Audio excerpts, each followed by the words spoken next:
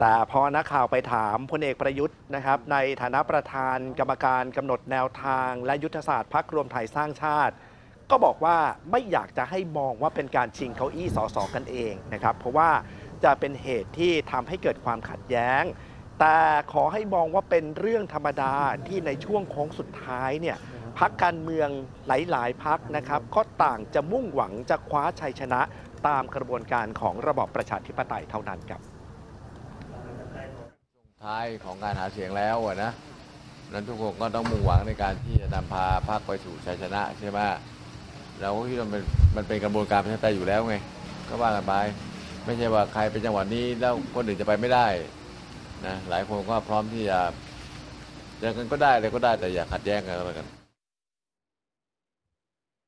หลังจากที่นายกให้สัมภาษณ์ที่ทำเนียบเมื่อวานนี้นะครับนักข่าวทำเนียบก็ตาดีครับ ไปสังเกตว่าระหว่างที่นายกให้สัมภาษณ์ มีสีหน้าที่ค่อนข้างอ่อนล้าอย่างเห็นได้ชัดนะครับ พอสัมภาษณ์เสร็จก็แบบนี้ครับ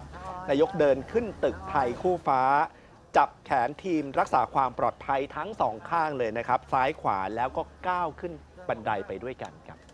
แน่นอนทีนี้พามาดูแผนการหาเสียงและความมั่นอกมั่นใจนะคะ ซึ่งทางนายธนกรวังบุญคงชนะประธานยุทธศาสตร์ภาคใต้พักรวมไทยสร้างชาติ บอกกำหนดการการลงพื้นที่ภาคใต้ของพลเอกประยุทธ์ค่ะ ที่มีทั้งการขึ้นรถแห่หาเสียง พบปะประชาชน เปิดเวทีปราศัยใหญ่นะคะ โดยระบุว่าภาคใต้เนี่ยแหละเป็นฐานที่มั่นสำคัญของพักท่ามกลางกระแสความนิยมที่ขยับตัวดีขึ้น ตามกำหนดการเนี่ยค่ะพลเอกประยุทธ์จะลงพื้นที่วันนี้ก็คือเมื่อสักครู่ลงพื้นที่ไปแล้วนะคะ จากนั้นวันพรุ่งนี้จะเปิดเวทีปราศัยใหญ่ในพื้นที่ภาคใต้ 3 จังหวัด ก็คือที่ตรังพัทลุงและสงขลา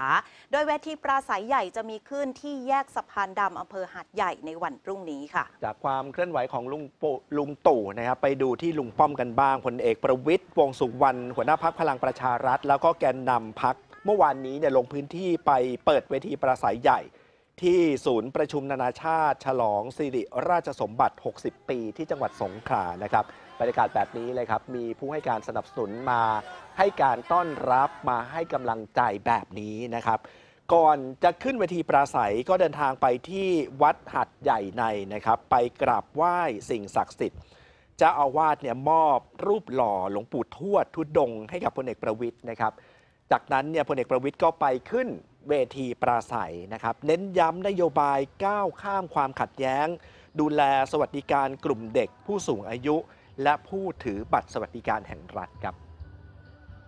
และยังคงอยู่ในพื้นที่ภาคใต้นะคะ ไปที่ลานเวทีกลางสะพานหินอำเภอเมืองภูเก็ตพักก้าวไกลเขาไปจัดเวทีปราศัยที่นั่นค่ะ ถ้าคุณผู้ชมจำกันได้ เวลามีนักวิเคราะห์ออกมาจะบอกว่าภาคใต้เนี่ยจะเป็นพื้นที่ของประชาธิปัตย์ของพลังประชารัฐของรวมไทยสร้างชาติ แต่ก้าวไกลเนี่ยเหมือนกับจะไม่มีคะแนนนะคะ ดังนั้นหัวหน้าพรรคนายพิธาลิ้มเจริญรัตน์ก็ประกาศ จะหักปากกาเซียนค่ะ คว้าเก้าอี้สสภูเก็ต มาแก้ไขปัญหาให้คนในพื้นที่ให้ได้ โดยเฉพาะปัญหาอาชญากรรม และการสนับสนุนการท่องเที่ยว นโยบายสุราก้าวหน้า และการแก้ปัญหาปากท้องของคนภูเก็ต และแน่นอนเลยค่ะ หลังจากปราศัยเสร็จสิ้นบรรยากาศเป็นแบบนี้แหละค่ะก็คือมีคนมารอถ่ายรูปเป็นจำนวนมากค่ะ อย่างน้อยๆ 3พักนะครับ ที่สุดสัปดาห์นี้เนี่ยไป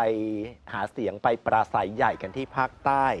นะครับเพื่อไทยเขาก็ไปมาแล้วเหมือนกันนะครับ หลังจากที่เดินทางกลับจากพื้นที่ภาคใต้ 3 จังหวัด เพื่อไทยเขาไปที่ภูเก็ตเหมือนกันนะครับไปพังงาแล้วก็ไปสงขลาส่วนสุดสัปดาห์นี้เนี่ยเขามีโปรแกรมจะไปหาเสียงกันในพื้นที่ภาคอีสาน 6 จังหวัดเลยครับ